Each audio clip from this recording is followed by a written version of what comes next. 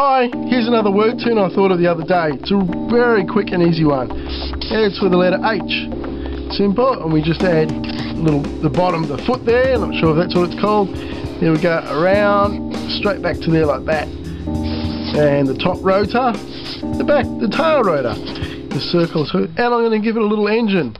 And now don't worry if you're on a helicopter and the engine stops, because if it does, the rotor keeps spinning and the helicopter lands slowly. Okay, thanks, bye bye.